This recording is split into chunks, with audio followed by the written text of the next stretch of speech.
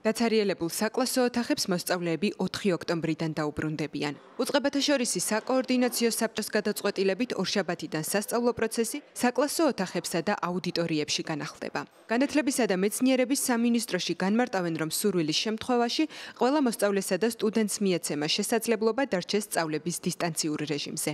ჩვენი სამინისტრო აგრძელებს ინტენსიურ კამპანიას იმისთვის, რომ სკოლის მასწავლებლები, თლიანად სკოლის პერსონალი იყოს მაქსიმალურად აცრილი. მაგრამ კიდევ ერთხელ მინდა გავამახვილო ყურადღება.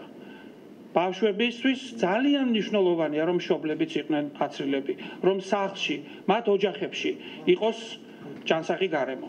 ყველა დირექტორმა იცოდეს თუ რამდენია მასთან აცრილი, რამდენს აქვს ბოლო 6 თვის განმავლობაში გადატანილი ინფექცია და ყველა დირექტორს კონდეს გეგმა, თქვა თუ როგორ უნდა აიცრას დანარჩენი, ვინც არ არიან აცრილები და ამავე დროს დირექტორებს მიეცათ რეკომენდაცია, რომ შეისწავლონ ასევე თავიანთი სკოლის მოსწავლეთა მშობლები როგორ არიან აცრილი და ასევე მოუწოდონ მათ რომ მოგეხსენებათ უსაფრთხო მართ სკოლა ნიშნავს როდესაც სკოლაში ყველა აცრილია და ასევე ბავშვის მშობლები და ბებია-ბაბუები თუ მასთან ცხოვრობენ ისინიც არიან აცრილი.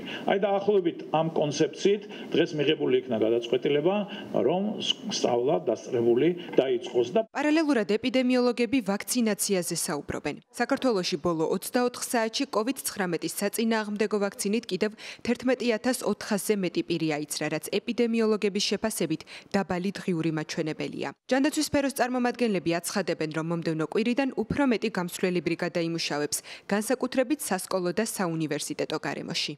ეს განსაკუთრებით მნიშვნელოვანია ჩვენ გავზარდოთ კლავ ვაქცინაციით მოცვა. ჩვენ დღეს მცირე ასაკის ბავშვებში ბუნებრივია ვაქცინაციაზე ვერ ვისაუბრებთ, ამდენად ყველაზე კარგი დაცვის საშუალება ბავშვისთვის არის მისი გარემოცვის ვაქცინაცია. ასე რომ მშობლებისთვის კიდევ ერთი მოწოდება და თხოვნა რომ აიცრან თუ კი ჯერ ეს არ გაუკეთებიათ, რადგან ჩვენთვის დღეს მნიშვნელოვანია ის რომ სასკოლო გარემოში თავიდან ავიცილოთ ეპიდემიური სიტუაციის გავარისება და სკოლა რომელიც გაიხ გახსნება დარჩეს გახსნილი სტაბილურად მთელი სასწავლო პროცესის განმავლობაში.